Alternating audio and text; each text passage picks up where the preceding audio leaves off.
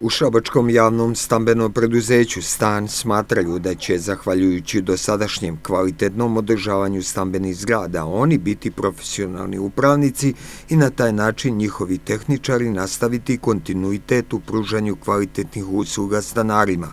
Istovremeno, cena održavanja stambenih zgrada time se neće povećavati. Grad Šabac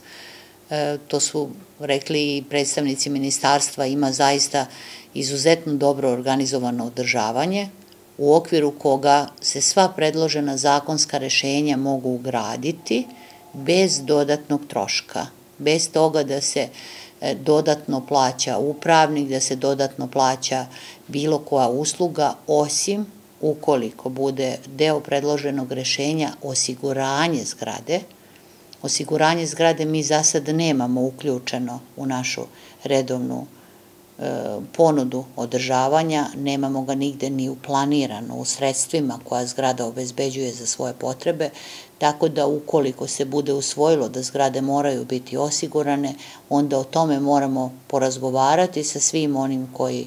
su kod nas na održavanju. Predsjednik Skupštine stanara u Šabačkoj stambenoj zgradi u ulici Jovana Cvića, koja ima 52 stana, Branko Ninković, smatra da je plaćanje profesionalnih upravnika dodatni udar na džep većine socijalno ugroženih vlasnika stanova i da to niko od njih neće prihvatiti.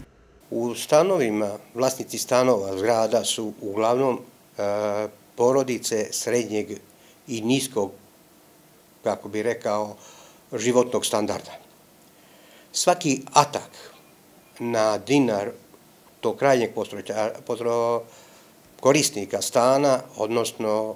vlasnika stana, je jako, jako zahtevno i mislim da bi svako povećanje izdavanja za osiguranje zgrade, za plaćanje profesionalnog e, upravnika bio atak na njihov džep. I to će jako teško proći kod stanara.